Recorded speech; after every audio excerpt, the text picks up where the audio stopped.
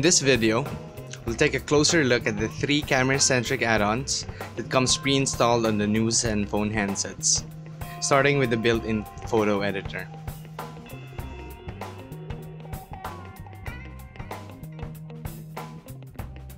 One of the benefits of having Android KitKat pre-installed on a smartphone, like the Asus Zenfone, is that users can immediately take advantage of Google's new and improved built-in photo editor. Immediately after snapping a picture, users can edit that picture right away using the Zenfone's built-in photo editor. Mind you, we're not just talking about the usual filters here, rather an extensive list of non-destructive tweaks that users can apply to their snaps to fine-tune it according to their liking.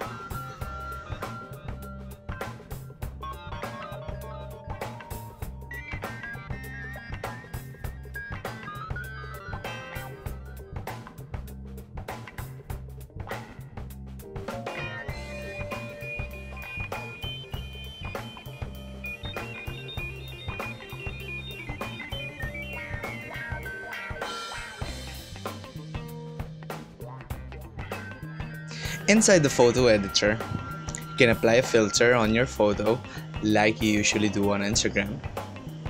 Add a frame to your snap, transform or crop your photo, or customize your picture manually by adjusting a wide array of presets for exposure, contrast, and or apply Vignette, just to name a few. Once you're content with your image, just hit on the save icon on the upper left corner of the screen and you're done.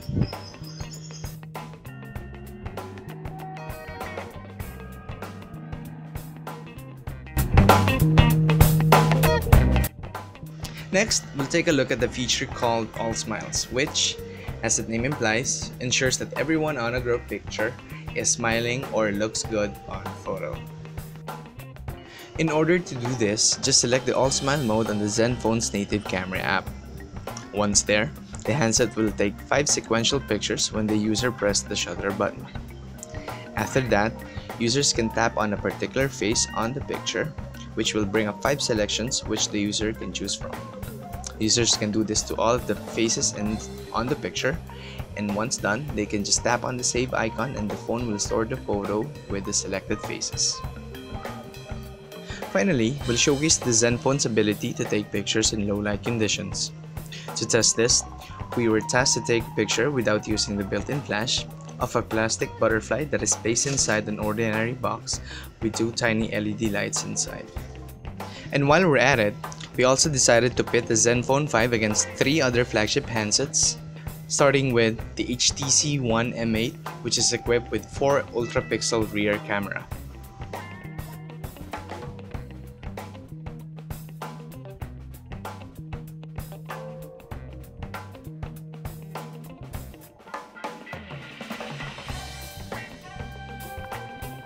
Unfortunately, HTC's flagship smartphone's rather gimmicky rear camera didn't yield any positive result and just gave us a black picture.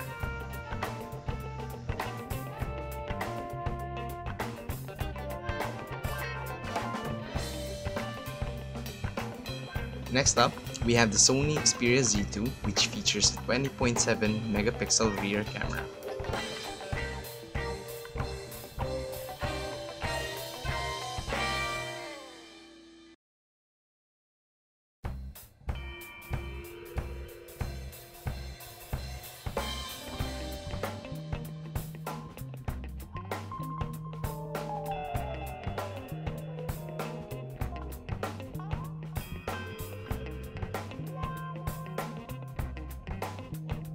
Sadly, it suffered the same fate as the handset before it and failed to capture the butterfly inside the box.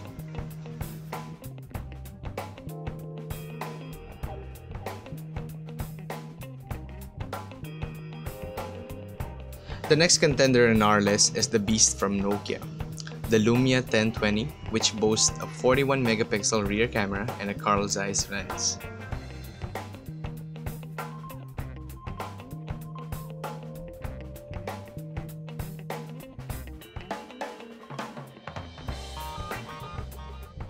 As you can see, the Lumia 1020's big-ass rear camera was able to pick up the faint silhouette of the butterfly. It's not that clear to say the least, but it's significantly better than the two previous competitors.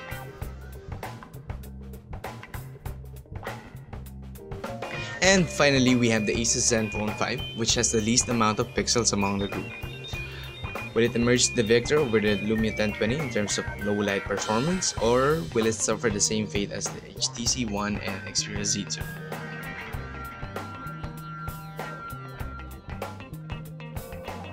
Despite having the most modest camera setup among the contenders, the Asus Zenfone 5's 8 megapixel camera took the clear shot of the butterfly inside the box. Needless to say, the Asus Zenfone lineup is not a pushover in terms of camera performance, particularly in low light conditions.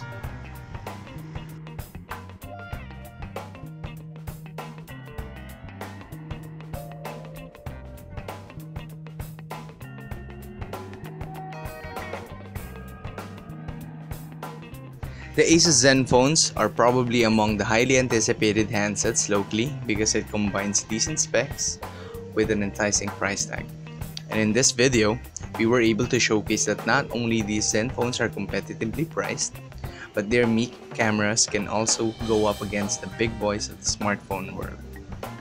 We hope you liked this short video and join us again next time. Thanks for watching guys.